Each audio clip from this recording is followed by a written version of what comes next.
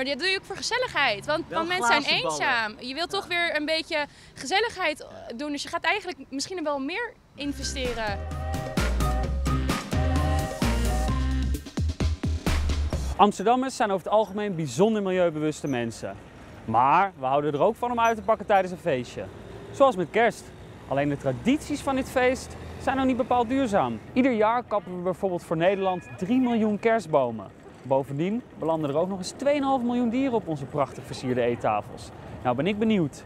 Speelt duurzaamheid eigenlijk nog wel een rol voor Amsterdammers tijdens kerst? Nou, niet eigenlijk per se met kerst. Ik ben sowieso heel duurzaam. Ik ben eh, vegetarisch en eet ook heel veel vegan. Een wat duurdere broek dan als cadeau doen, maar waar je wel dan van denkt van dat gaat langer mee. En daar let ik dan wel een beetje op.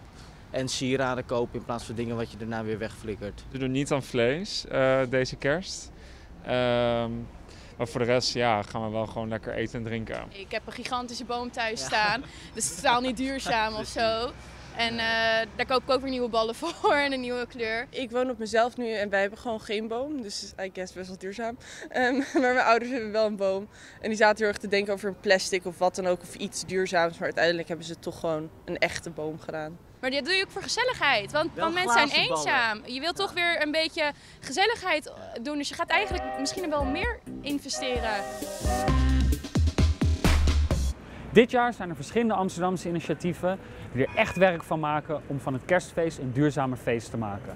Door bijvoorbeeld duurzame kerstbomen te verkopen of een duurzaam kerstpakket aan te bieden. Kerst is een tijd van cadeaus en van geven. En wij vonden het eigenlijk een hele mooie combinatie om echt duurzamere cadeaus te geven.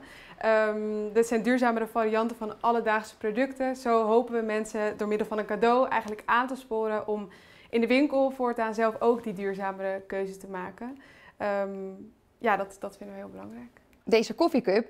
Tegenwoordig met eh, corona gaat iedereen ergens een koffie to go halen. En dan is dit veel duurzamer dan alle andere eh, kopjes die weggegooid worden. Daarnaast bijvoorbeeld het groente- en fruitnetje. Eh, hoef je geen plastic zakjes meer mee te nemen, kan je het gewoon hierin verpakken. En als laatste ja, een duurzaam zeepje wat niet met eh, plastic eh, is verpakt. En daarnaast ruikt het ook nog eens heel lekker.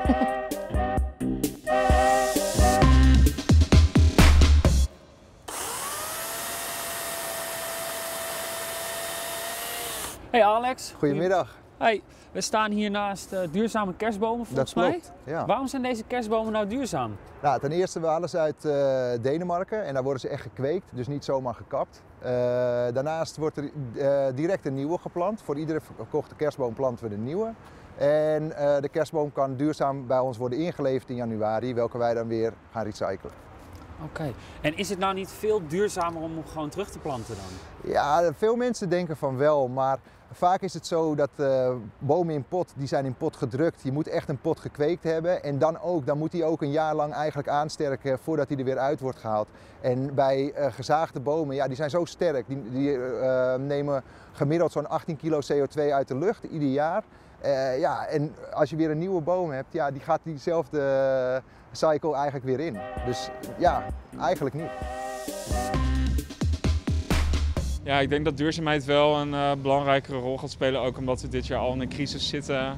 En ook omdat we ja, sowieso al merken dat we eh, best wel veel aandacht doen aan het milieu. Dus ik denk, en ik denk ook dat het goed is dat daar het komende jaar ook meer aandacht eh, gegeven gaat worden. Het waarderen van producten, het waarderen van spullen en niet blijven consumeren en plat consumeren Ja, eigenlijk. klopt. Daar zit, dat is voor mij duurzaamheid. Ik merk wel dat er steeds meer vegetarisch wordt gegeten om me heen. Nee, ik zorg er wel voor dat als ik vegetarisch eet, wat sowieso is, dat ik dan tegen mijn familie gewoon zeg van jullie ook allemaal vega. Ik vind het niet zo fijn als ik erbij ben en jullie aan jullie biefstuk zitten te, te happen. Daar heb ik niet zoveel zin in. Kom met mij met bij de slager. Dan sta je een beetje verkeerd hier voor de slager.